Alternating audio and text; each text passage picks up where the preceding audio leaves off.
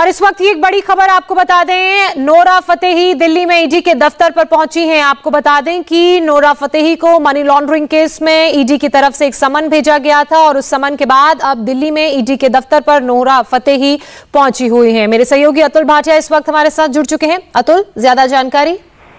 देखिए, जिस तरीके से 200 करोड़ रुपए का तिहाड़ जेल में एक्सटॉर्शन रैकेट सामने आया था, सुकेश चंद्रशेखर की गिरफ्तारी जो है वो पहले ईओडब्ल्यू और अब ईडी ने की है और जो मलयालम एक्ट्रेस है, जो कि कथित पत्नी है, सुकेश चंद्रशेखर की, लीना पॉल, उसको भी पहले ईओडब्ल्यू दिल्ली पुलिस की इकोनॉमिक ऑफ़िस विंग और उसके बाद ईडी ने, सेंट्रल एजेंसी ईडी ने जो है, उन दोनों को अरेस्ट किया है।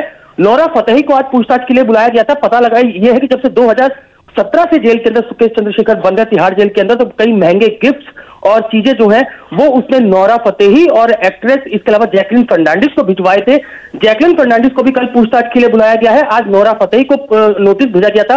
पूछताछ के लिए बुलाया गया था, जो दिल्ली में एमटीएल का ऑफ़िस है, वहाँ पर ईडी का ऑफ़िस है, वहाँ पर पूछताछ के लिए बुलाया गया है और अब से कुछ देर पहले नौरा फतेही जो है, वो पूछताछ में शामिल होने के लिए पहुँची है। जो ईडी के सूत्र हैं, वो हमें ये बता रहे हैं कि एज ए विटनेस क्योंकि काफ़ी जो सबसे बड़ी इच्छा सुकेश चंद्रशेखर की थी, जिसने तिहाड़ जेल के अंदर बड़ा जो है, वो एक्सटॉर्शन रैकेट चलाया था 200 करोड़ रुपए वसूल किए थे उसकी इच्छा कहीं ना कहीं ये थी कि जो उसकी पत्नी मलयालम फ़िल्म एक्ट्रेस है। उसको कैसे बॉलीवुड में एंट्री दी जाए इसलिए वो कई बॉलीवुड स्टार्स और इसके अलावा जो Jacqueline Fernandez no, Nora Fatehi के टच में था।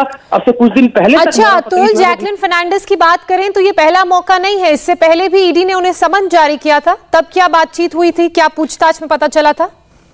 देखिए जैकलिन फर्नांडिस को पहले भी दो बार जो है पूछताछ के लिए बुलाया गया था जिसमें से एक बार ईडी की इन्वेस्टिगेशन जो है वो जैकलिन फर्नांडिस ने ज्वाइन की थी। लेकिन पहली बार नौरा फतेही को पूछताछ के लिए बुलाया गया और पहली ही सम्मन के अंदर वो पूछताछ के लिए पहुँची है।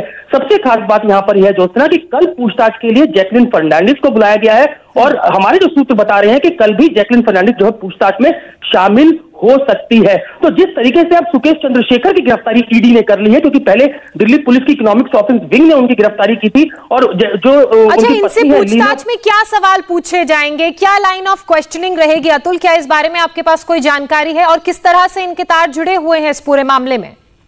बिल्कुल ज्योत्ना देखिए, जो सुकेश चंद्रशेखर है, वो अपनी पत्नी को बॉलीवुड में एंट्री कराना चाहता था, जिस तरीके से मलयालम फ़िल्म के अंदर एक्ट्रेस थी, वो बॉलीवुड के अंदर एंट्री कराना चाहता था इसलिए बड़े बड़े जो स्टार्स हैं, उनके टच जाता है कि नौरा फतेही और इसके अलावा जो जैकलिन फर्नांडिस है, उनको काफ़ी महँगे गिफ्ट जो है, वो जेल से सुकेश चंद्रशेखर ने भिजवाए थे।